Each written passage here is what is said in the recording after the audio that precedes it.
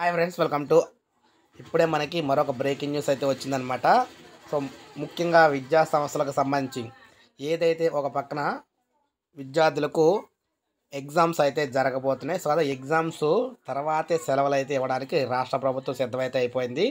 అయితే ఈ ఎగ్జామ్స్ అనేవి ముఖ్యంగా చూసుకున్నట్లయితే సో ఆరు రోజులు అయితే ఉండబోతున్నాయి. ఎందుకంటే ఆరు సబ్జెక్టులు అయితే ఉంటున్నాయి కదా. సో ఈ ఆరు రోజులు ఆరు సబ్జెక్టుల తర్వాత సెలవులు అయితే ఇస్తారు. అందరికీ తెలిసిందే.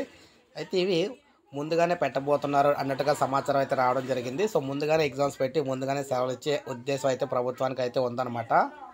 అదేవిధంగా సెలవులు పొడిగింపు అనే దానికి కూడా ఆల్రెడీ మనం చెప్పుకున్నాం నిన్నటి వీడియోలోని. సో సెలవులు కూడా టూ డేస్ అయితే పెంచే అవకాశం అయితే ఉందని.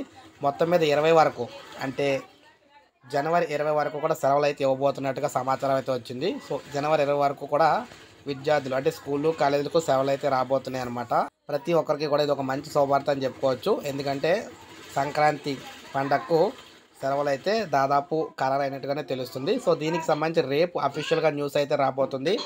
ఇరవై అంటే జనవరి ఇరవై వరకు సెలవులతో రేపు న్యూస్ అయితే ప్రకటించబోతున్నారు. సో ఇది ప్రజెంట్ అప్డేట్ అనమాట విద్యా సంస్థలకు సెలవులకు సంబంధించి ఫాలో అవుతుండండి.